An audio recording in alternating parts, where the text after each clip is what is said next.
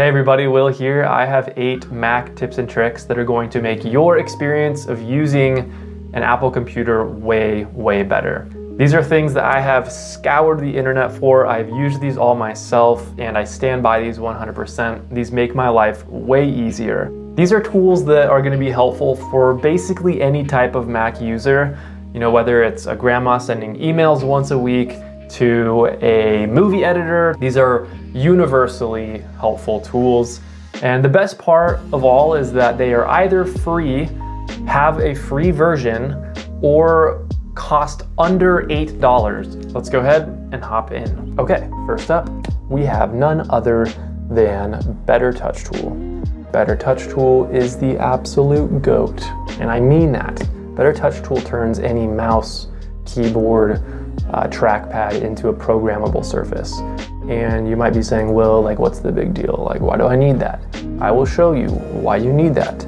So here in Better Touch Tool, you get to choose your surface. So I'll say trackpad, and you can see here all the shortcut, short, shortcuts, shortcuts that I have made that trigger other actions.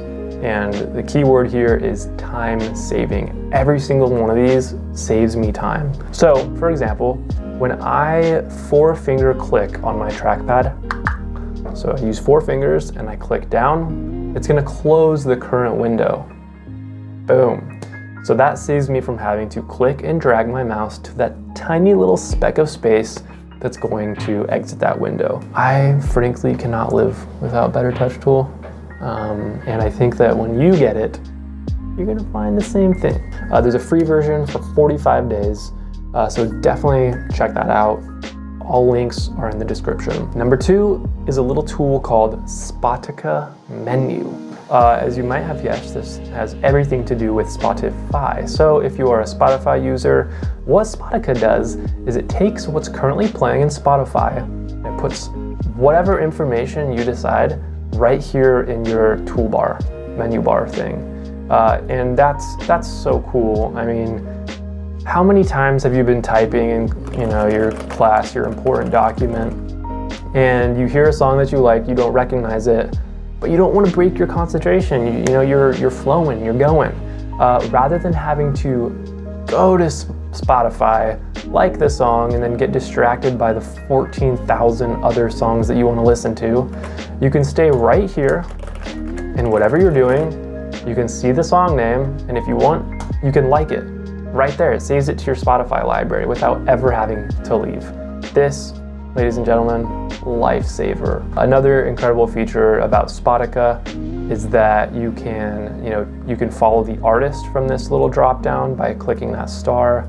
You can copy the song link.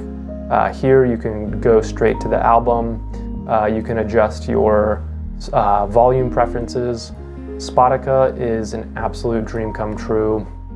Uh, it's like $3, so again, huge deal.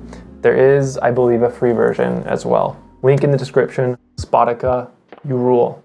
Number three is called Mick Tagger. It's a play on the word Mick Jagger, and you will soon see why. So again, let's say I'm working hard and the song that I'm listening to in Spotify really catches my attention. Well, I want to stay focused, but I also want to add it to a playlist for later. So again, instead of having to go back to Spotify to, you know, sort through my songs, find it and then add the right playlist, all I have to do is press Command Shift Space and it pulls up this little window. And that is the default shortcut that Mick Tagger uses. Uh, Mick Tagger syncs with my Spotify account so that when I type in a particular uh, playlist name, say Focus, uh, it finds my playlist called Focus Electronica. When I press enter, it has automatically added that song to my Focus Electronica playlist. Uh, so hugely helpful tool, you know, with a keystroke and by typing in the name of the playlist, you instantly have that song added for later use without ever leaving the window that you are in. Amazing tool. Number four is a tool called Lyrics X. Lyrics X is a really wonderful little tool that allows you to see uh, an overlay of the song graph of the song lyrics that of whatever you're listening to. So what I can do is press Command Shift L, and I get a floating window down here on the right with time synced lyrics. It's gonna stay on top of any window that I switch to, uh, which is really incredible. So, uh, huge, huge winner. Uh, thank you to whoever made Lyrics X. Okay, number five is very simple, but oh my goodness, so effective. It's called Copy Clip. One word Copy Clip. Uh, it keeps a history of everything that you've copied so that you never lose, you know, that important hyperlink, that important password, that important, you know, block of text. As long as you've copied it, copy clip is going to save it for you. It doesn't even have to be brief. You can copy an entire research paper and copy clip will save it there. Uh, all you have to do is go back, select that thing, and then it's back in your clipboard for you to copy once again. Love me some Copy Clip. I think you're gonna love it too. It is free, so treat yourself. Okay, number six is a little application called Get Plain Text, and the name could not be any more self-explanatory. Basically, it is going to help you take any formatted text that you have copied to your clipboard and it's going to strip that formatting. Let me show you an example.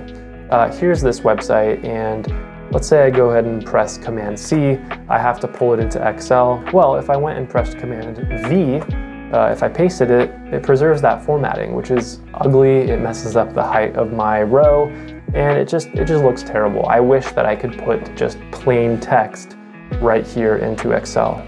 What you can do is you can either turn on automatically clear formatting so that anything that you copy automatically is stripped of its formatting so that when I come here now and press Command V, it is it matches the formatting of this uh, this Excel sheet that I have already established, which I love. If you don't want it to continuously be clearing formatting from things out of your clipboard, you can unselect this.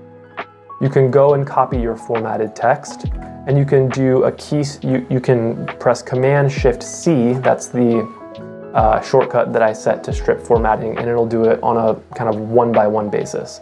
Uh, so great app, very simple, totally free, could not recommend it enough. Again, all links are in the description. Okay, number seven, uh, Xnip, spelt with an X. Uh, maybe it's Xnip. Uh, Xnip is wonderful, allows you to take scrolling screenshots. So when I open Xnip, I get a little icon here in the toolbar and I press start capture. Uh, basically what I do is I click and drag the region, and then if I click this little button here, uh, I can start a scrolling capture. I'm scrolling down. You can, you can see there on the right that Xnip is stitching together in a re really seamless way uh, for as long as I choose to scroll. So, okay, now I've gotten as much information that I, as I want. Uh, I press this button here and it has now saved that scrolling screenshot to the folder I designated. If you scroll to the top of that screenshot, you'll see that I have a small watermark here from Xnip. Uh, that's because I have the free version. Uh, highly recommend upgrading to the full version. Uh, there are additional features and it removes the watermark. Uh, so check Xnip out. It's very, very inexpensive and uh, just incredible how well it stitches together uh, all of those separate screenshots. Just makes life very easy. Number nine is literally a work of technological engineering developing genius. Have you ever been in class for a work presentation and you see a slide deck and you say, oh man, there's, there's some really cool information on that slide deck, but I'm really just, I don't want to type it out. That's where Text Sniper comes in handy. Text Sniper with a simple shortcut, in my case, Command Shift 2, gives you a, a, small crosshair. Again, I'm looking at an image right now. This is not a text file, but what I can do is I can click and drag over any text. And when I release, it's gonna analyze that text. And then down here, you'll see it has copied that text to my clipboard. So again, if I go up in my clipboard history, I now see that I have all of that text copied so conveniently so that when I pull up my Word document, whatever I'm taking my notes in, and I pressed paste, it has literally turned that into uh, editable text for me. I believe it was $3 uh, worth every single penny. I would buy it 10 more times. All right, everybody, that concludes our eight tips and tricks to make your Mac usage better and more efficient. I hope that you found something helpful in this video. In fact, while you're here, please leave a comment. I would love to know which tool you are most excited about. Uh, again, hope this was helpful and subscribe so that future videos like this will show up on your front page of YouTube. And thank you so much for tuning into this debut video and I will see you next time.